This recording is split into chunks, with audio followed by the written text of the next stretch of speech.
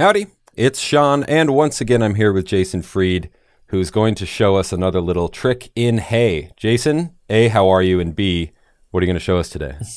A, I'm great. Thanks for asking. Sure. B, check this out. All right. So, um, Hey, like most email apps, has a feature to label or tag emails. Um, and if you go to your Hey menu and scroll down a bit, you'll see labels, and I've got you know four of them set up: charity, dog stuff, insurance mm-hmm. items, travel. I can click all labels and see them all, whatever. Right now, um, you can of course label an email. An email comes in like this, and you can hit label, and you can select the label you want. Okay? Sure.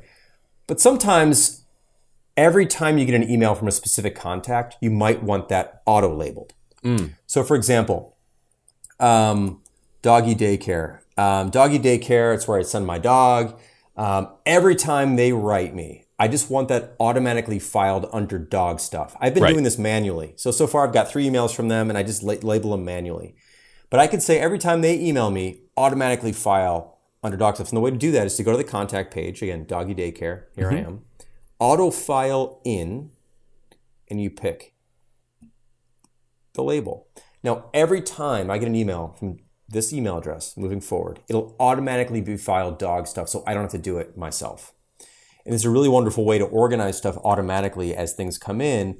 And that way, you know, I can just pull it all together when I need to, and I don't have to kind of keep manually labeling the things that are coming in from a particular contact. And you yeah. can do this, by the way, under multiple contacts. In fact, you can even auto file, this would be weird, but I'll just do it real quick, under dog stuff and travel. So oh, you can select cool. multiple labels yeah. too, if you want.